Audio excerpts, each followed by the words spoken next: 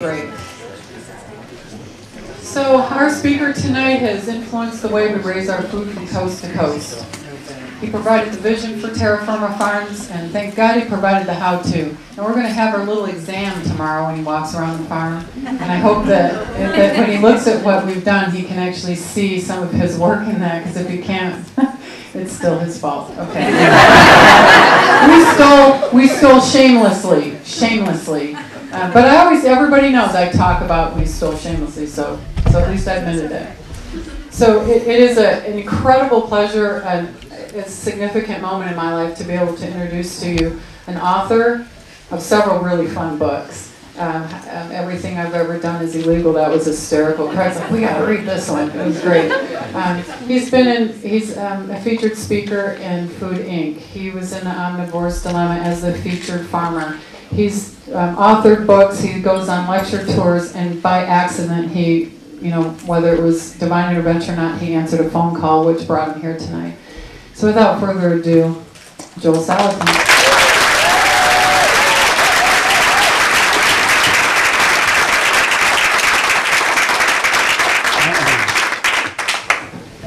Thank you. That's that's very kind. I'll tell you what. This, uh, you know, a, a teacher who um, who sees a, a student you know, go on and be successful, like you know, a chemistry teacher that sees somebody go on and you know in the world of chemistry or whatever. Uh, yeah, that, that's that's the biggest thrill as a teacher. And um, so for me, uh, at, at, at now I've actually done a couple of these uh, where new farmers that have taken these ideas and run with them, um, I've come to encourage them, encourage constituents, that sort of thing. Uh, but nothing gives me a greater thrill and and pleasure. It's like the ultimate, uh, you know, compliment to be able to come and uh, and talk to a new food community that is building around uh, a farm like us and to enjoy um, another family's enthusiasm for that community. Uh, just it's just it's just great. So it's a real real uh, pleasure to be here and to uh, visit with you this evening. People have always asked me, um, well, who you know, where was your support community? Because see, our neighbors all think I'm a bioterrorist.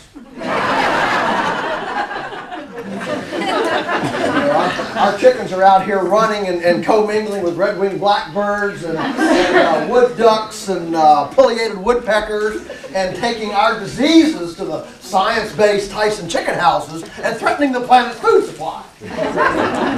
so uh, I kid you not. I mean, they they really uh, they really think that I'm a bioterrorist. So people ask, well, what was your support group? You know, in all those all those years, and I'll say my support group were my customers not my neighbor farmers. They didn't have a clue. Okay?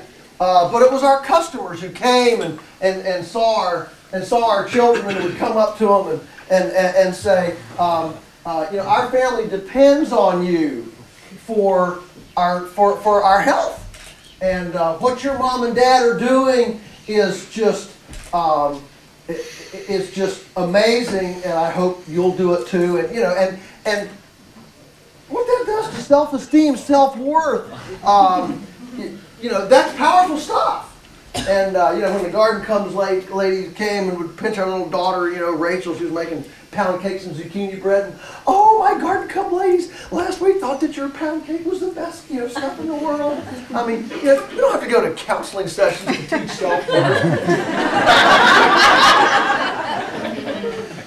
and uh, so that's so so so I, I really appreciate um, this community of support coming out and seeing this kind of support because because it's a lonely road out there. You know, when Tara says, uh, I went out at, at, at, 11 to, to check on the chicks. You know, and, and, and, um, and a rainstorm comes and you're, running out to the flashlight to make sure the, the new birds you just put out today found the, you know, found the shelter and uh, and they're not all just sitting there hypothermiating, you know, in the, in the middle of a rainstorm. Uh, that's reality. It's a lonely road out there.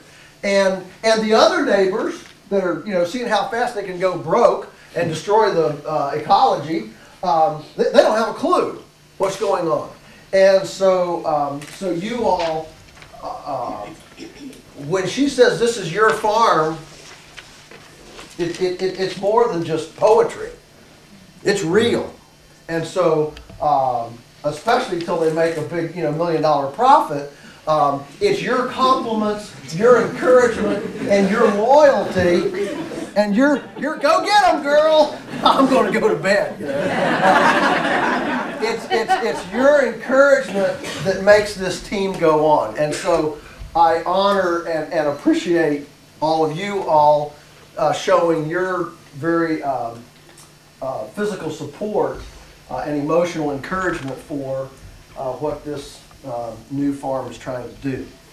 Uh, as I've been thinking, what what can I tell this? I mean, I've had I don't, how many of you come up and I heard you at Point Reyes uh, a couple of years ago when the when the lightning storm hit and the power went out and we were all in a room within the dark and I thought, man, these guys these guys are savvy. You know, they've been out to Tara Firma. They know what's going on. I, mean, I don't need to tell them about you know pastured chickens and and moving cows around and all this stuff. This is a savvy group. So what can I what can I say that's that's um, that's that's really important? And we'll, we'll take some. I mean, I could just stop and say what's on your mind, and we could probably go till you know we need to stop.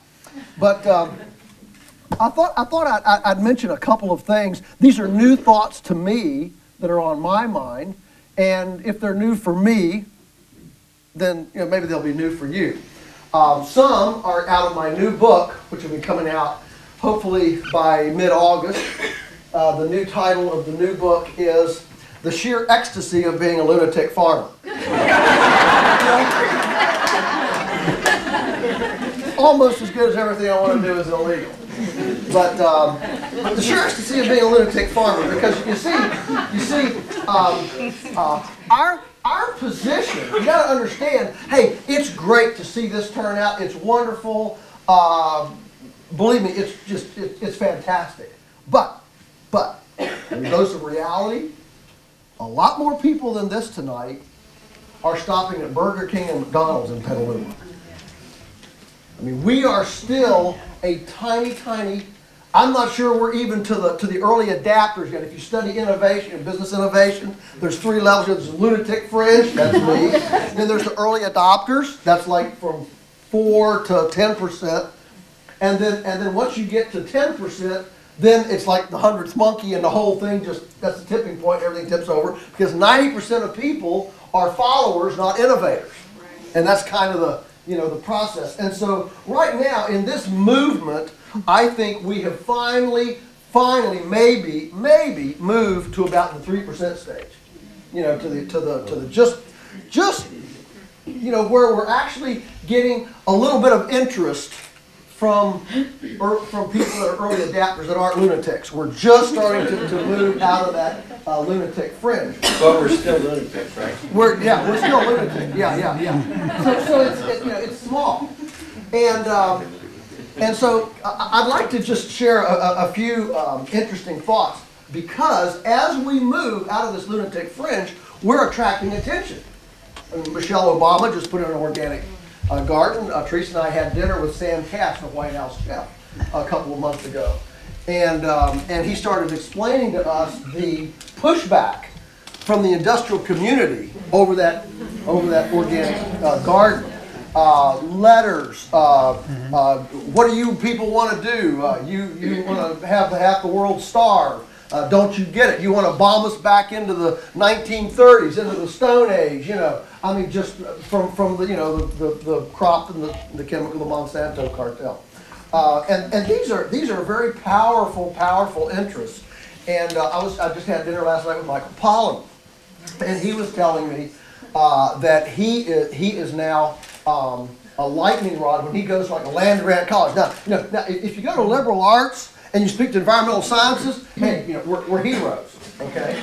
But, it, but if you go to a land grant school where they actually have an ag degree, and of course, you know, 90% of all the research is being funded by Monsanto, Ciba-Geigy, Pioneer Seeds, Johnson & Johnson, Merck Pharmaceuticals, Tyson, uh, you know, whatever. Um, then what happens is, as soon as they find out you're coming, you know, they call the president, we're gonna withdraw funding for this, you know, five million dollar art center we just put in, or, or not art center, but, but, uh, GMO, GMO lab or whatever. Anyway, there's, there's huge pushback, and he's, he, he- he's just felt it ramp, ramp way up. And of course, that's what happens, you know, Gandhi's, uh, principles of, of, um, revolution are first, they ignore you, then they laugh at you, then they fight you, and then you win. and so we've been ignored for a long time, okay? And now, and, and, then, then they began laughing at us. That was about 15 years ago. Now they're fighting. And if you think for a minute that we have won this fight, you better think again. Because there are some fascinating things going on, um, uh, not the least of which is uh, Obama's appointment of Michael Taylor as, uh, as food safety czar. Uh, Michael Taylor was a former attorney for Monsanto, steered Monsanto's genetic modified organism program through, then uh, was named uh, by the Clintons to the FDA, where he was the um, he steered the genetic modification organism, the GMO program, forward through the FDA, and now he's just been named to you know the food safety czar. Um, that's the change. Uh, the, the point being that uh, there are, like one guy told me when Obama got elected, said, remember, there are 10 miles of USDA offices that haven't changed. Okay? So there's a lot of inertia here. And as we gain market share, every time you all now take your food dollars and spend them where there's a transparent, connected, heritage based, indigenous carbon sequestration. I don't know how many more I can string together, but exceptionally tasting, nutritionally superior food, you withdraw it, see, from the coffers of these lords of our paradigm castle who have been safely ensconced behind their um, you know, offices in urban centers making decisions that affect the earthworms a thousand miles away. It's the ultimate outsourced decisions. The average farmer doesn't make the decisions that affect his, his or her own farm anymore. The decisions are made in corporate offices somewhere far away where the consequences of those decisions are never seen. And so, what I would like to do is, is just articulate for you, and, and, and you, I'm sure, are meeting coworkers and family members and stuff, and some of them, oh, you know, yeah, you want to spin yourself to that organic food, you know, what, uh, what's the point? It, you know, burgers are burgers, cows are cows, chickens are chickens, and bread's bread, right? You know, we got this idea. Or, or, oh, you people, you know, you're just a bunch of, bunch of uh, tilting at windmills. I mean, what, you, what, you think you can feed the world? Yes. uh, this kind of system can't feed the world. Or they say, um, oh, you, you've just joined that elitist group, you know, that, that pricey elitist group, and it, it doesn't really, it doesn't work in the real world. And so I want to give you a couple of things, to, tidbits, to, um, to encourage you as you talk about these issues to coworkers, family, naysayers, people, uh, and you feel that pushback so that you'll be you'll have the art you'll have the dope okay?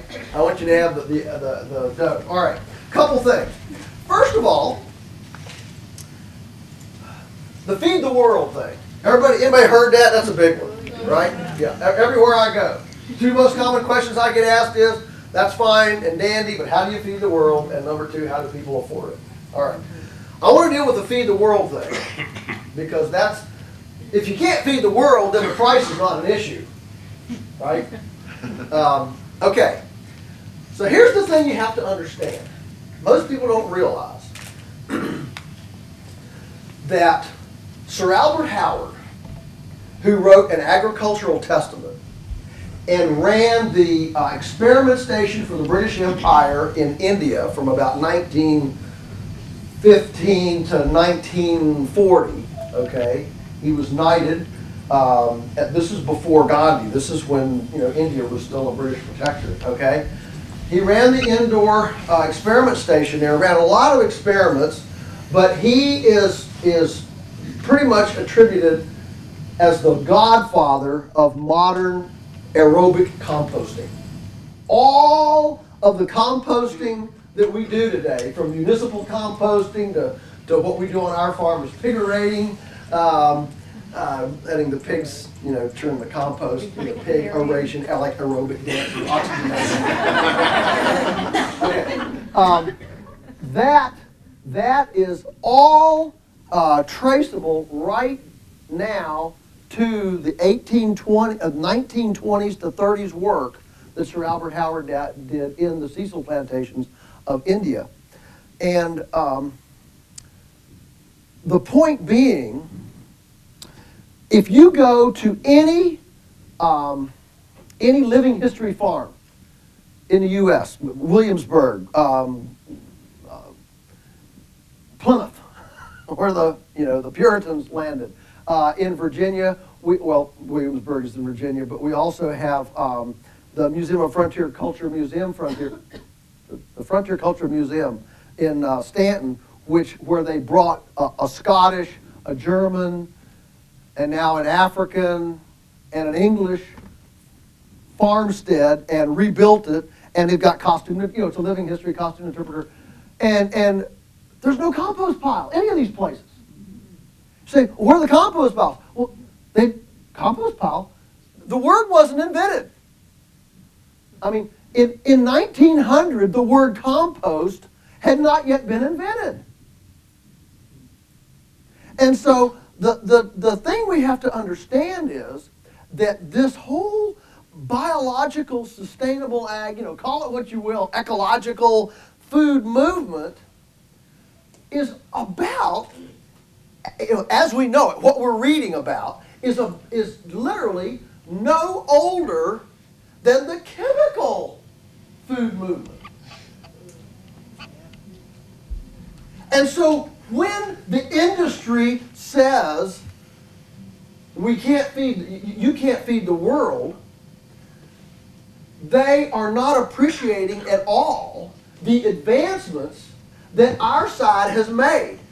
We have to understand that environmental degradation, major environmental degradation, from the Sahara of northern Africa to the um, to the Rajputana Desert in India to the um, to, to the, the eroded farmland of the old South with the cotton and the tobacco plantations, all right, like on our farm where we lost you know eight feet of topsoil in 200 years. Um, all of that land degradation happened way before chemical agriculture. You can't blame that on Monsanto. You, know, you can't blame that on Ciba-Geigy. I mean, you can't even blame, blame that on the U.S. Gov. that land degradation happened around the world long before chemicals, anhydrous ammonia, or petroleum or chemical fertilizer. And so, so what happened in the you know 1900, 1910, 1920 was that there were people from different paradigms working on this problem. How do we maintain fertility? How do we feed the burgeoning population of the world now that we've you know got vaccines to stop polio and now that we've learned about toilets and that wasn't a word either you know um, uh, there are a tremendous amount of words that we take for granted and, pieces of infrastructure that that have all happened kind of you know kind of in the same time period. The point being that if the same um, uh, interest and use of the biologically appreciative paradigm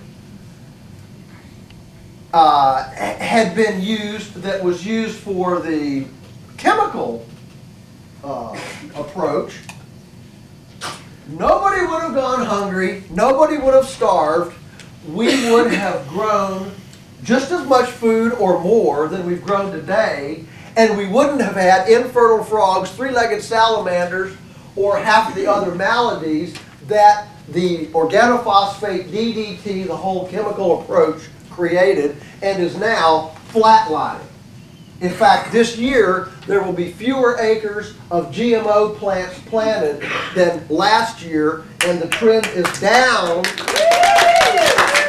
The trend is down because it's not giving a kick anymore. We- have, we have exhausted the, the biological ability of that adaptation to give us a kick from this, you know, from this technology.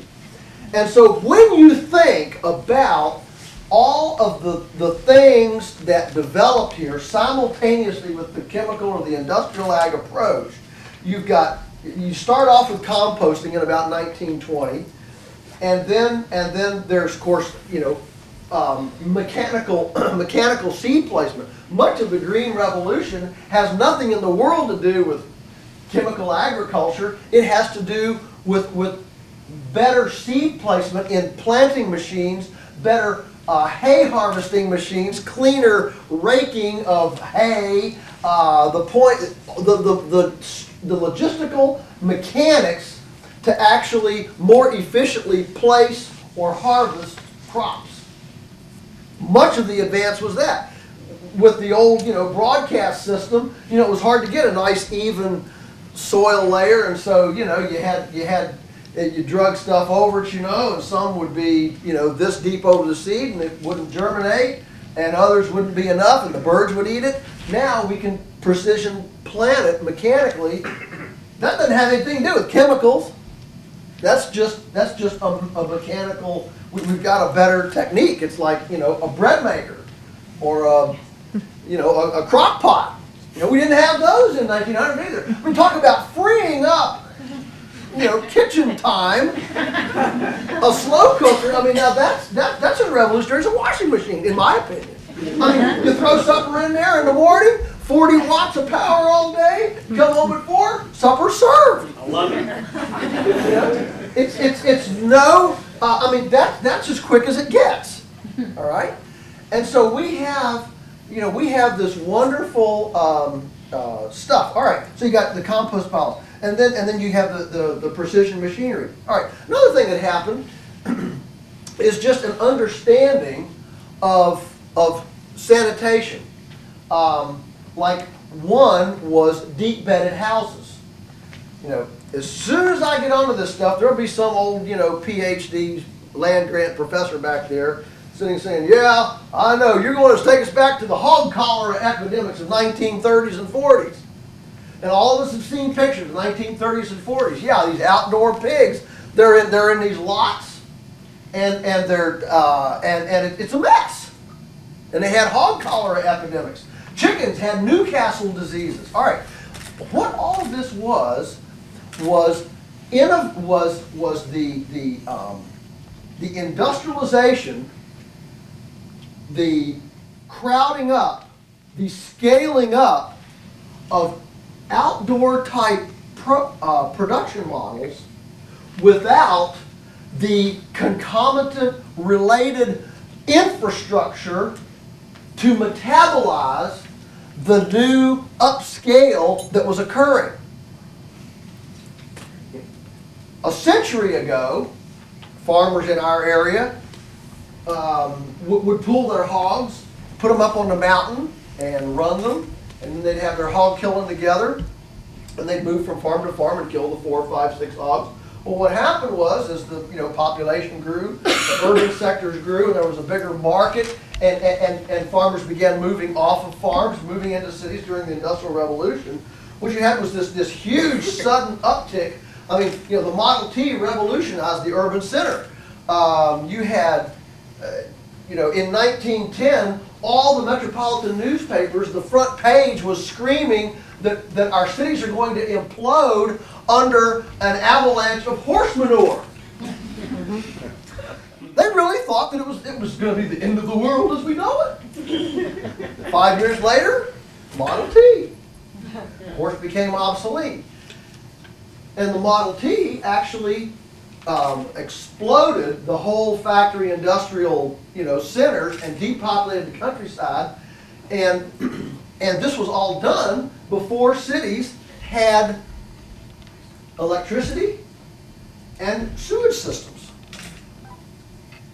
And so, so it took about 20 years for the cities to get electrified and sewer-fied, or whatever the word is, um, to, to, to metabolize, for the urban centers to metabolize this, this huge uptick in urban expansion that occurred from about 1910 to 1930 during the heyday of the, of the automobile, as the automobile replaced the horse uh, in, in America.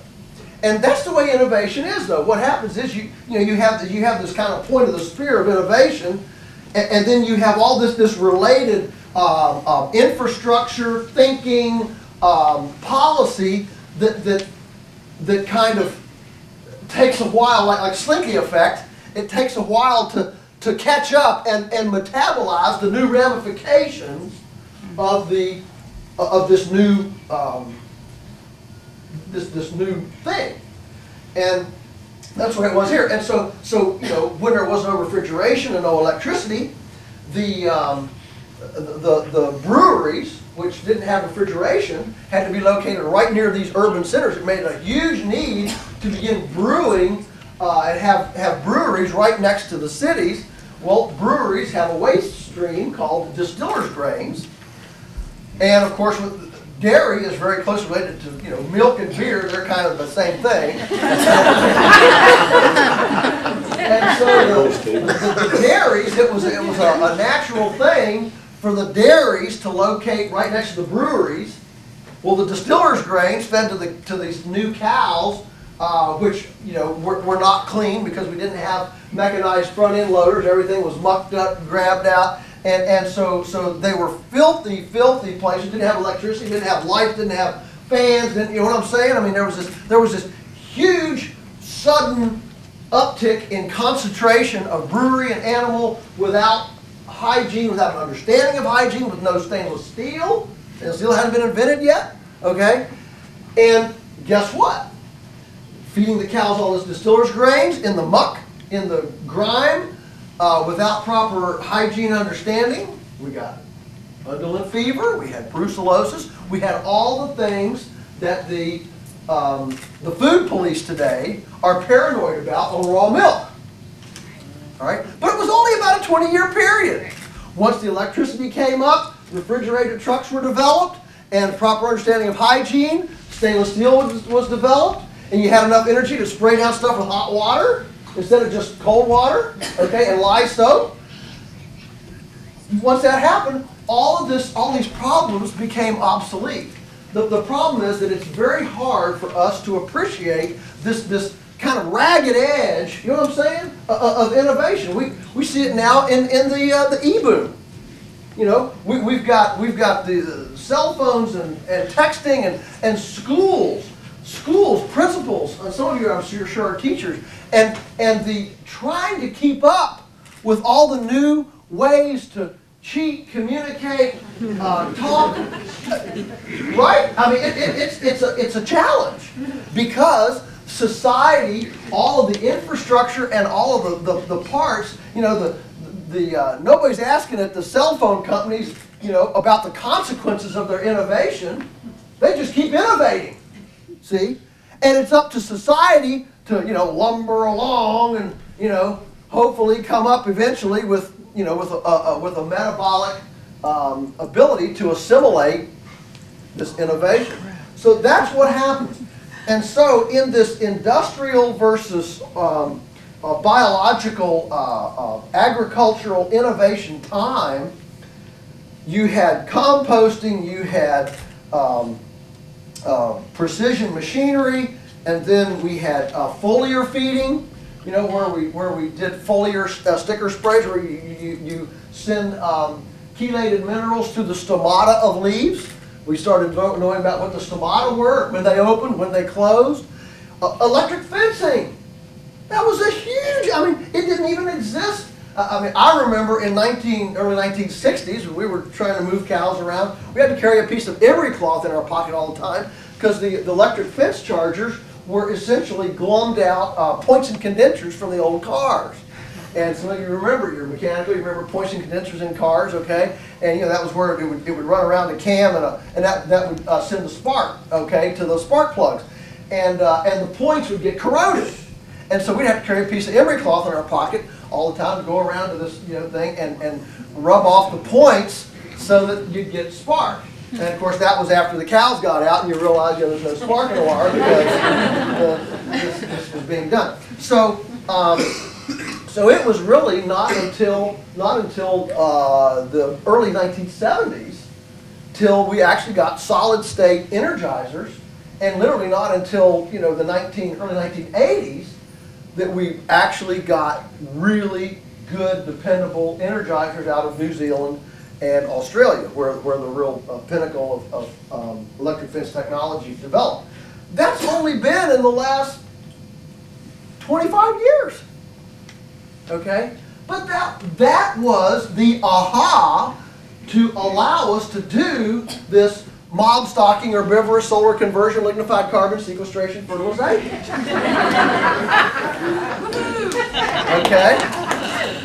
And, and, and, and even now, this whole idea of moving rotational grazing onto the next level of what we call the mob stocking. Let me do it again. Mo- you don't think I can do it again, do you? Yeah. Mob stocking, herbivorous solar conversion, lignified carbon sequestration, fertilization. And, and if every if every farm and ranch in America would do that, in fewer than 10 years, we would sequester all the carbon that's been emitted since the beginning of the industrial age. And that's the truth. That's how easy. What, the mob stocking or the? What I just said. If everyone who had cows in North, in North, in, in the United States would practice that model, that's, that's where we intensify the herd. We'll put, you know, in a room this size, uh, we would put uh, 50 head for a day. I mean, you know, grass is up here, you can't walk through it. 24 hours later, a mouse has to carry lunch to get across. Right? What it's doing is it's biomimicry of the way the, the herds of buffalo, the big herds of buffalo, would, you know, like a two million head herd being chased by fire or Indians or wolves or something, would have moved across, uh, uh, periodically disturbing the landscape, chipping up all the carbon, and and and uh, and freshening up the uh, the plants to slough off their roots to pulse that organic matter into the soil because the plants want to maintain bilateral symmetry at the soil horizon. So if every farmer in America would do this, in fewer than 10 years, we would sequester all the carbon that's been emitted since the beginning of the industrial age. So why don't we? Why don't we? We could make money. Because- Obama know this? Oh, sh- well, does he know this? I mean, what do these people know? I, I don't know. I mean, all, all they know, they're so insulated. They really are. They're so insulated, it's unbelievable. Um, But One question, I've heard this argument before, what do you base it on? Like, I, I can tell this to a million people, and they will, they will say, do you have the scientific basis for that? Where do I refer them did to? you learn how to say mob stocking your river solar conversion? Right, all right. Um, what it is, if you want to know the science behind it, you can go to the Holistic Management International (HMI) uh, website. Uh, they will give you the the, um, the the gigatons of actual carbon. Uh, what it is is that the plants um, are pulling this carbon out of the air, putting it into biomass, into decomposable biomass, and and um, because grass cycles so much faster than trees good controlled grazed perennials um, actually cycle the carbon much more efficiently and faster than trees. No, I completely, I agree with Okay, you. the other site is Carbon Farmers of America.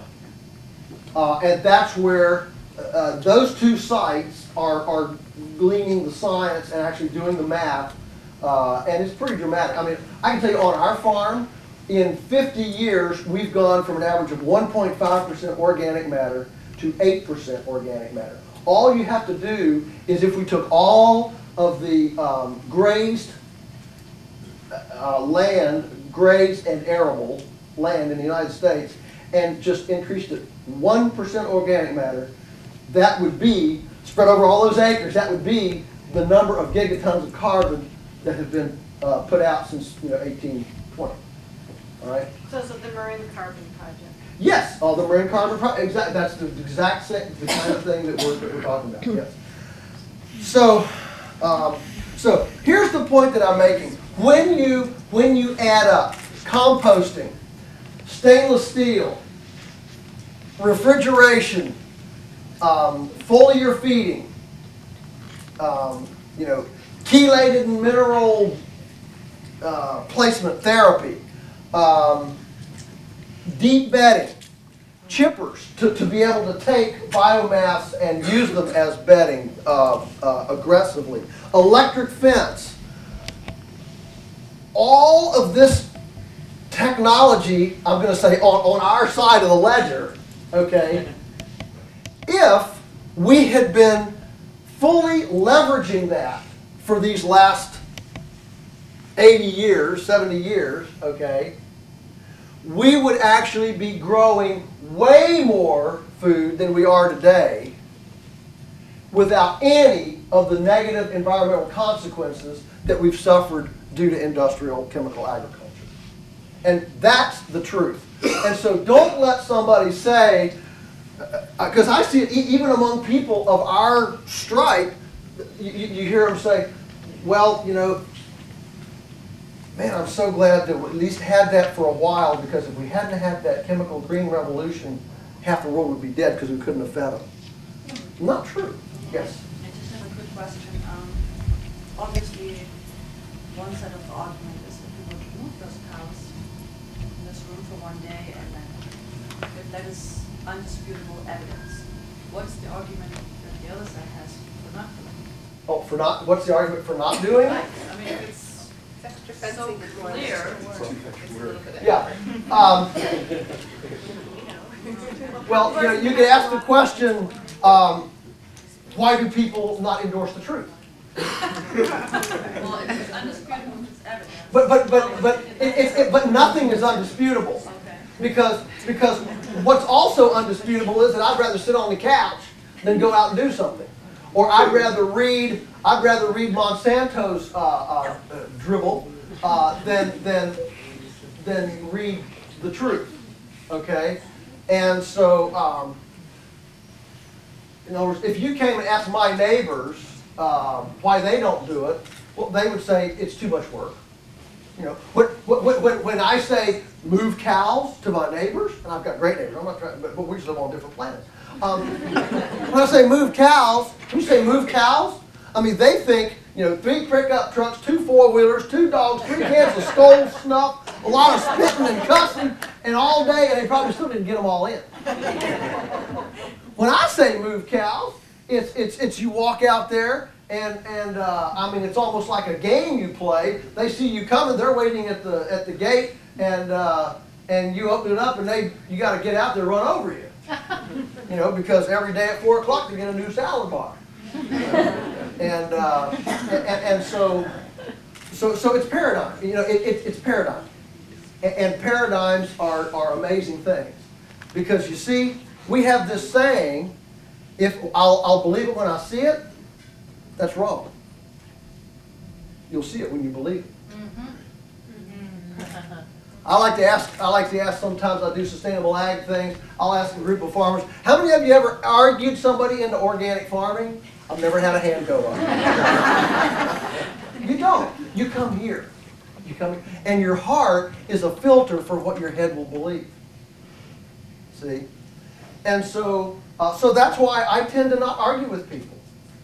You know, if you want to, if, if you think I'm a nut and nothing I say makes sense, that's fine. That's fine. You can go on out and eat fecal soup. That's fine.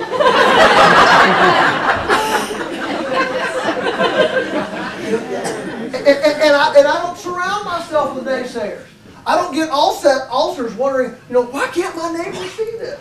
All of our customers come in, people come. I had a guy come, and this is a true, I mean, true as can be. Uh, I had a guy come from uh, Richmond out, and he was a friend of a neighbor who, who um, they were having a Sunday afternoon potluck.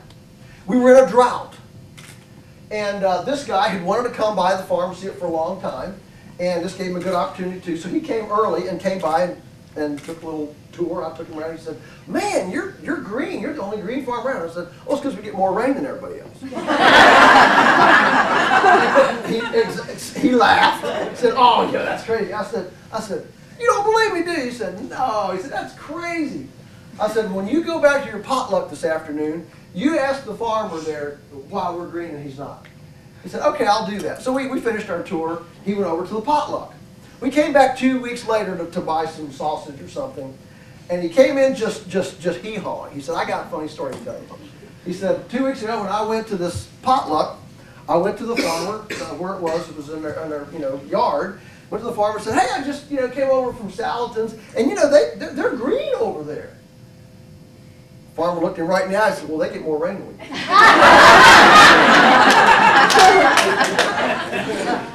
know, we, how else can you explain, I mean, you can throw a bunch of evidence in front of somebody, and they will tell you uh, naturopathy doesn't work. Chiropractors are quacks. Um, you know, I could go other, you know, uh, Not you, Ken. there, there, there, there are a million, there are a million things. Um, in fact, you know, when, when people accuse us of promoting unsafe food, you know, like raw milk and compost grown tomatoes, that's unsafe food. You know, my response is, well, by whose science and whose authority is it, is it safe to feed your kids Mountain Dew, Twinkies, and Ho-Ho cakes, but it's not safe to feed them, you know, Hey, all right. Which brings me, which brings me, and I'll finish with this point. Um, which brings me to, I want to introduce you to an unsung hero who is the paradigmatic leader of where we are today. Because all of us know about his counterpart named Louis Pasteur. Now, Louis Pasteur was a very famous man and um, lived in France. And he um, did a lot of things, but the thing he's most known for is advancing the germ theory. The germ theory, which was, was real easy to present to people because it makes people victims. There's, there's bad guys out here. See, I'll look them at them. They're running around this microscope here. And, and there's bad guys there, and they're, they're coming out to get you. And, and, and we've got to kill them before they get us. Well, there was a contemporary of Louis Pasteur named Michel Beauchamp. And he said, Au contraire. he said, No. He said, Yes, there are germs out there, but you know what allows them to get us is the terroir, the terrain. And he advanced the terrain theory. It's all about the immunological terrain. Well, Louis Pasteur was handsome, flamboyant, and he really did great on Regis and Kathie Lee. And so the world loved him. All right? And we are still in our Western reductionist, compartmentalized, fragmented, systematized, individualized, disconnected, arts oriented, all about me kind of thinking. we are still worshiping at the altar of the germ theory, Louis Pasteur. That's why we give H1N1 flu vaccines with mercury in them to our kids instead of ripping out the high fructose corn syrup vending machines out of our schools to build up their immune system.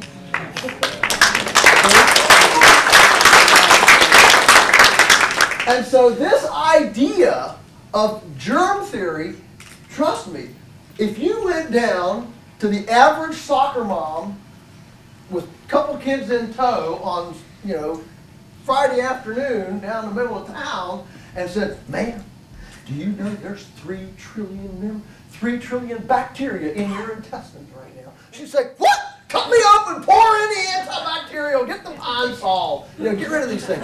Each of us is inhabited with a three trillion member community inside of us that sloshes around and, and, and purees and cooks and has kindergarten, you know, whatever they do, I don't know. But we live in a bacterial bath. And annihilation of the bad bugs is impossible if that's our line of defense. Our line of defense is our immune system. Having a good army of good bugs. Okay? That's why, for example, in our brooder house with our chicks, we want the bedding to get like this deep so that we have enough uh, uh, uh, enough carbon nitrogen, which has to be about 25 or 30 to 1, uh, a wide enough, deep enough mass to support a core community, like a compost pile, of real active nematodes and pathogen fighting bugs.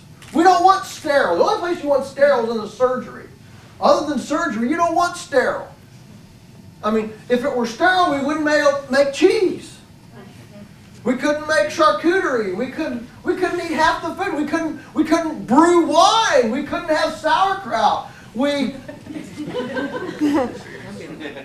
think of how many things we depend on bugs for. Okay? But we've got this, this bug paranoia in our culture, and it all dates back to a love affair with Louis Pasteur. So, so I want you to remember the name. Say it with me, Michel Beauchamp. Michel Beauchamp. Okay. Now it's it's it's it, he's not it's, he's a man. He's not a woman. It's, it's the French Michael. Okay. So I just want to make sure we're on the same page here.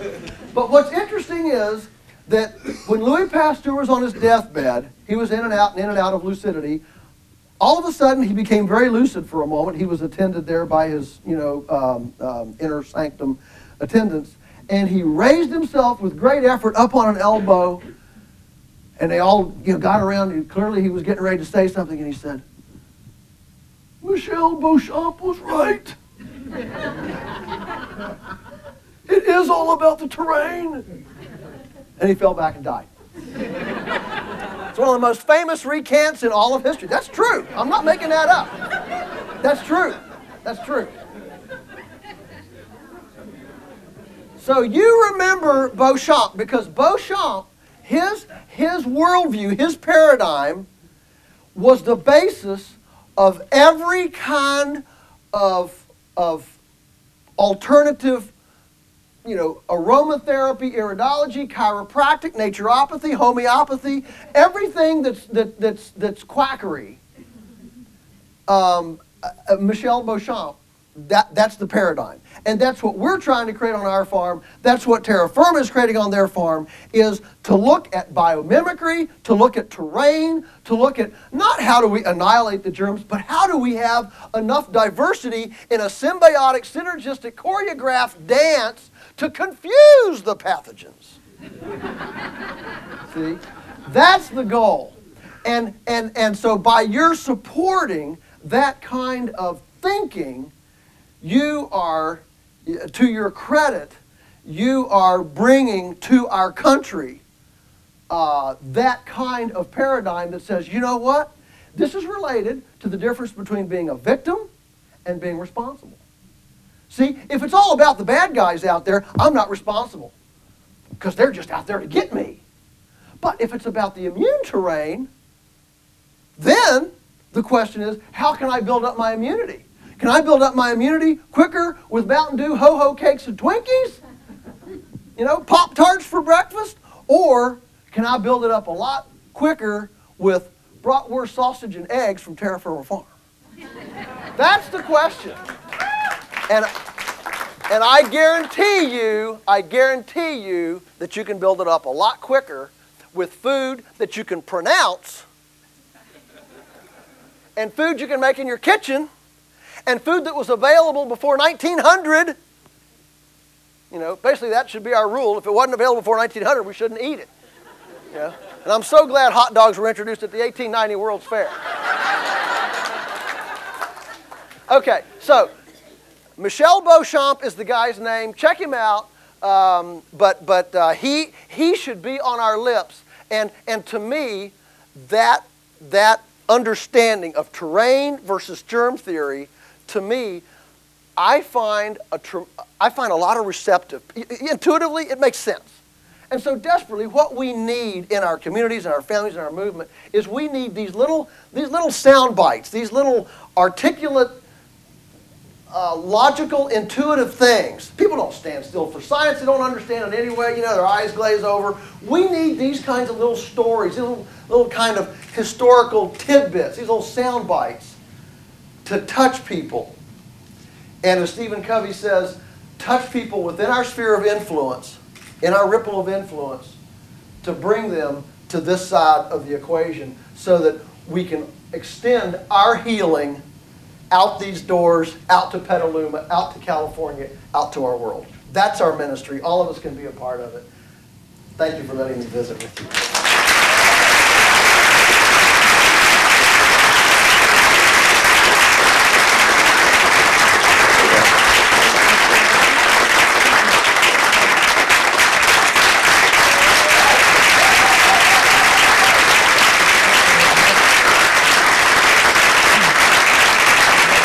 Thank you. For Joel. How long do you want to go? The time is uh, 9:05. I always like, you know, this time in the evening, you start seeing people. You know, what's good? How, how far? You want to go 10 minutes? Yeah. 9:15. 9:15. All right, 9:15. We'll, we'll quit. All right, 10 minutes. Uh, uh, questions, discussions, dissent. Uh, what's on your mind? And- yes. I have a question. I really like how you talk about taking responsibility more and more families, starting from birth and our choices about food, health, wellness, and even about our kids' education. I know you've talked or written in your books about your children and keeping them and how to keep your children around, keep your family together, not just send them out the door and send them off into the world and just taking more responsibility with all of your family, including their education, and how Sure. to keep them around. I would love to hear you talk more about that. Hmm, Well, this is part of our compartmentalized thinking in our culture is that that we we need experts for everything. And you know, I really think that it's a tragedy of our industrialized culture that we have expertized everything out of the household, out of the home. I mean, you can't fix your car, you can't grow your food. I mean, we've got people, lady stopped me, she was in Texas, and uh, she said she just got turned in, by her homeowners association uh, for growing a tomato in her flower bed because that's farming, and farming is prohibited. I kid you not. But, but we, we have so, we have so compartmentalized our, our lives so that our, our wellness is up to that expert, our education is up to that expert, our, our recreation is up to that expert. You know, we don't even, we don't even sit around and tell, us, if you want to be entertained, nobody tells jokes and stories like a family anymore or brings out the fiddle. What do you do? You, you go to Blockbuster Video. This is our entertainment, professional entertainers. We, we have basically taken uh, everything that used to be, um, that used to grow up within the home and, and be insourced. And we have essentially outsourced it to where our homes are just pit stops between everything that's important in life. As opposed to our homes being the important thing in life. Where we learn love and relationships, social skills and respect and honor and character. Um, you know, and, and, and, and we've, we've even done this to where um, a lady told me that when she was growing up in Washington State, you know, Washington State's known for its apples.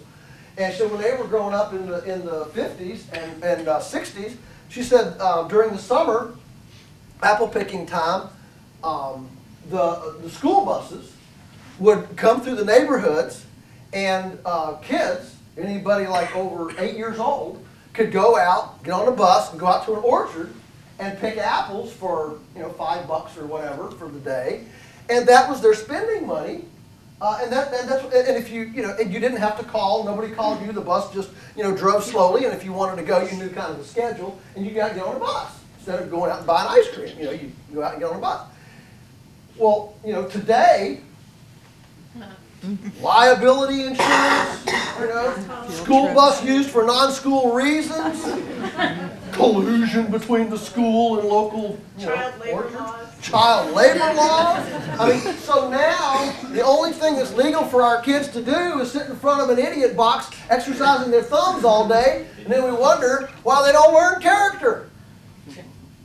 Yeah. In fact, there's a huge physical reason. That's why I'm such a promoter of, of backyard gardening and things like that, is because if you read uh, Jared Diamond's uh, Guns, Germs, and Steel, you realize that the populations that came to be dominant in the world were ones that had close affinity with large livestock and did uh, um, and exercised their immune systems.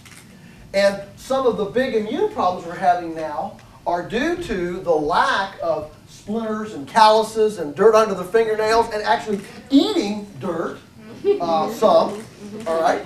Um, You can get all that at Tara Firma Farm. yeah, that's right, that's right. Um, and, and, and build, and exercising our immune system so they're properly functioning. And that, if there's no, for no other reason than that, we should be getting our kids out to do some gardening and scratching in the dirt and planting seeds. The other reason is spiritually to learn the miracle of regeneration and birth.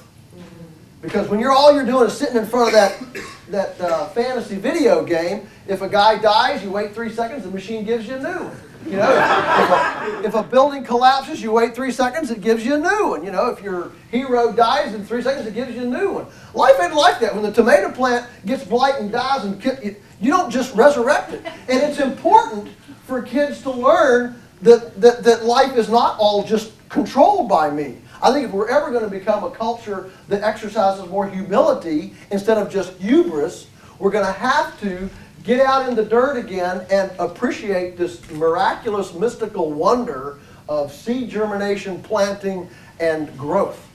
To learn that it's not all about me, it's bigger than me. Yes. You mentioned earlier that um, you're the lunatic and then there's the early adopters. Yeah. Is there a country or a society you can cite now that's doing this and is doing it well and is in this early adoption stage or about to tip somewhere in the world that we can look at and, and and learn from? Or is it still too? Not, not really. Uh, the, the one thing, no, th- th- uh, no, no country in the world, uh, but just um, there are pockets. There are pockets. In, in Europe or Africa or where? Well, uh, all over the world. China, uh, Japan, uh, uh, goodness, uh, Vietnam. There are there are pockets. If you're familiar with uh, permaculture, um, there are there are certainly you know communities and groups. Um, but you know one of the interesting things when I was at um, Terra Madre in Turin, Italy, with Slow Food a couple of years ago. Um, I went to all the, the African delegations I could go to. And uh, what was interesting was the American delegation, the 500 of us that were there representing America, there were whatever 5,000 delegates there from 130 countries. It was interesting that we spent all of our time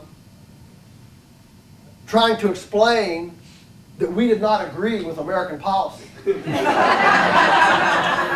what was interesting was at least I didn't, maybe somebody else did, but I didn't find a single other person there from any other country who also, who, who was in agreement with his government's policies. So all of us from every country of the world were lunatics. You know, we, we were not, we were not accepted in the, you know, in the powers that be framework. And, um, and so, so we, we have, we have communities, we have groups, we have areas that are, that are doing things. But uh, it's a pretty, it's a pretty widespread, you know, uh, diffuse thing. Good question. Yes, ma'am. How are we gonna get, uh, healthy food in the schools? How are we going to get healthy food in the schools? Uh, that's a great question. Um, um, I, mean, I don't have all the answers, but uh, let me just throw this on you for, for just for, to think about. We spent, some of you I'm sure know more about this, what was $728 billion for the AI, for the bailout, the AIG and the, you know, all of the scalawags up there. Um, Bush started it and then Obama just went on with it even worse. And um, we just spent that much on a bunch of scalawags. And for Trying to think now. I think it's five billion dollars. It's under ten. Let's say seven. For seven billion dollars, we could double the allotment on every single school lunch in America, and every single child could eat local artisanal heritage-based food for seven billion dollars. The folks, the money's here. And when people talk about elitist food, you know, and price of food, you know what? If you start going down, you've got money for what you want, and if we took all the stuff in the food system that's fluff and not really food anyway, you know, like Starbucks latte, Coca-Cola, Doritos, potato chips, McDonald's, Taco Bell, I mean, you know, tobacco. Uh, I just saw, I just saw, yeah, uh, Lunchables. Oh my. Jello pudding. TV dinners. Giorgio's frozen pizza. I mean, you can just keep going down the line. Are you with me? This stuff isn't food, folks. You know, sometimes I want to get up in the middle of Madison Square Garden, get a big AP system to be able to spit, say to the world, folks, this ain't normal. It's not normal to eat food that you can't pronounce. It's not normal to eat food that comes from 1,500 miles away. It's not normal to eat food you can't make in your kitchen. You ever try to make a high fructose corn syrup in your kitchen? My point is, my point, my point is, there is enough money in the system. That's my point. There's enough money in the system. And, and we just don't, as a culture, we just don't have the resolve to, to decide this, this is important. This is what we're going to do. We just don't. Yes, ma'am. Well, I just kind of want to quickly piggyback off that. How can, I think this is a group of pretty like-minded people, and we're pretty blessed to live in this area. Sure. So how can this group of people change that resolve across the country? How can Petaluma affect Missouri? How can you affect Missouri? How can, yeah. How about you just affecting Petaluma and let's start there? But it's moving through here, that's what Yeah. I mean. So there's, there- it's Well, happening, it's growing, it's Absolutely growing. it is. Where And- And the, the whole, the whole farm to lunch program is definitely moving. I mean, Chef Ann uh, Cooper is doing wonderful work and, and it's happening, you know, a little bit, a little bit, a little bit of time. The, the question was, how can we do this? And I'm just saying, we don't have to wait till tomorrow. I mean, I mean, it, you know, if suddenly there were this, you know, if every American woke up tomorrow morning with this epiphany, we should do this, all we'd have to do is pull seven billion dollars away from AIG, and, and we'd have it. I mean, that's how simple this is. So how do you get the government backing? So how do you get the government backing? Well, the problem is, that, that, that's, you know, the, the, the question then is, who is the government? Is the government really our elected officials, or are they just uh, marionettes on the end of Monsanto's string? You know, that's, that, to me, that's the bigger question. Now, I'm not actually sure that the politicians run the country. The things that I've seen lately, every time I go testify at something, it looks to me like, like they're just basically being played like a guitar by Monsanto, Ciba-Geigy, and, and Archer Daniels Midland, and all the other wrath of them. There's what, there's what, uh, 50 corporations in the United States that have a larger budget than half of the world's countries? I mean, that's power. That's real power. Okay, one more question and we're gonna. Over, over there. Yeah, yeah. Very fast. Is Monsanto's the top GM, whatever it's called, horrible, disgusting? Yes. Okay. And um, I'm really confused because So am I. There was- A lot of times. there was, um, I was, my friend was telling me about this um, test this Irish people did, and they, and, I, and they were saying that organic and non-organic were just the same. There wasn't any health difference, and I knew, of course, that was just dumb, stupid. And I'm like, okay, so let's figure this out. So I said, okay, and of course this was complete, including pesticides and all the stuff. He's like, no, and I said, well, well, what do you mean, no? He's like, well, of course they didn't include the pesticides and all the junk. And I'm like, okay. And I just don't get why, you're smart, many people are smart, but there are so many people that are so stupid.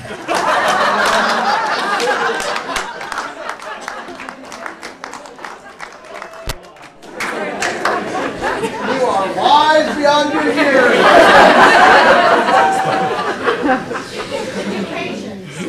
Right, well, wh- what you're, what you're saying, what you're saying, what you're saying is, is the heart filtering out, you know, what you're seeing. And, and, um, and so you have to understand that a lot of this research is done by agencies and businesses who, who have an agenda. I mean, when Monsanto, for example, was justifying uh, GM, GMO potatoes for the FDA, they purposely used geriatric rats to do the test. When the same test was repeated in Scotland, same, same protocol, but on juvenile rats. Then they had behavioral problems, brain development problems, organ development problems, all sorts of problems. All right? And because geriatric rats already have fully developed brains, already have fully developed kidneys, already have, you know what I'm saying?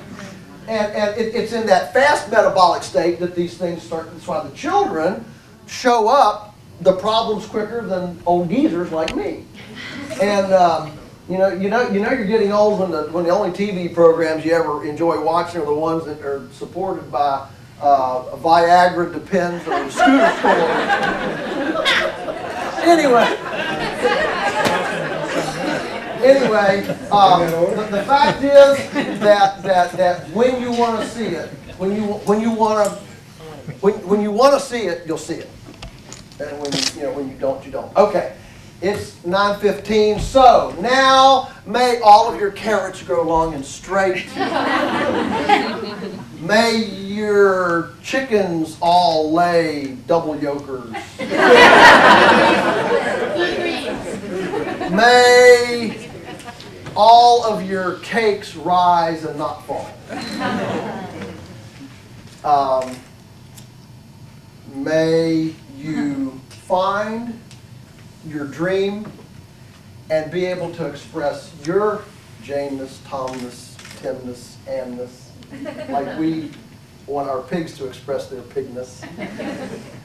And may your children rise up and call you blessed. Thank you so much for letting me visit with you.